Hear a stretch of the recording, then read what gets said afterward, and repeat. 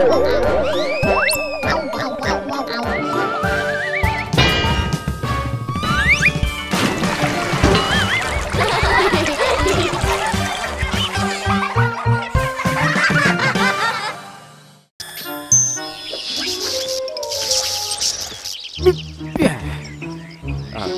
cảm ơn mấy đứa. Công nghệ gì mà lạ quá Nâng được cả xe luôn. Là công nghệ ngoài hành tinh đó bác. Ồ, có phải người bạn ngoài trái đất này không? Dạ đúng rồi Để con kể cho bác nghe nha.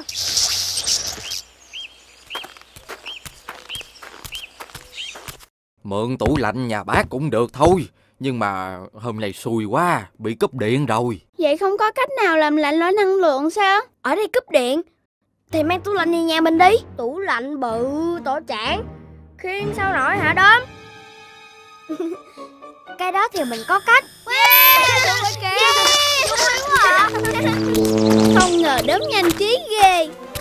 lạnh bay lơ lửng như bong bóng luôn.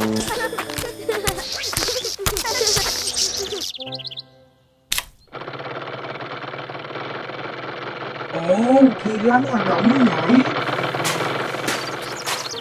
Bây giờ cho lõi năng lượng vào để làm nguội. Bước tiếp theo là sao nữa hả ba Chúng ta sẽ xây dựng một cái đòn bẩy cực lớn. Đòn bẩy hả? Đòn bẩy là một loại máy cơ đơn giản Dùng để biến đổi lực tác dụng lên vật theo hướng mong muốn. À Nó giống như cái bập bên đúng không ba Đúng rồi, khi ta tác dụng lực vào một bên Thì vật bên kia sẽ được nhấc lên. Hay quá. Như vậy thì tàu của mình có thể bắn ra ngoài không gian rồi. Hmm, nhưng như vậy thì chưa đủ. Chúng ta cần thêm năng lượng để gia tốc khỏi lực hút trái đất nữa. Năng lượng? À con biết rồi. Đổ nước tăng lực vào.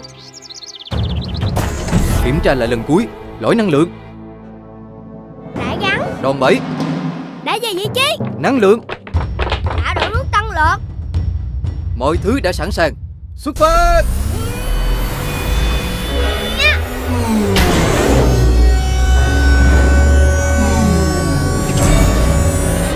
Tới lúc rồi Đã năng lượng nước tăng lực đi.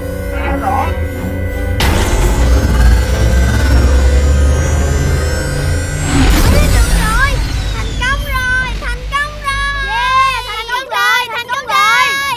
Thành công rồi. Cảm ơn những người bạn trai đó Mình nhất định sẽ kéo theo các bạn. Chúng mình sẽ đợi bạn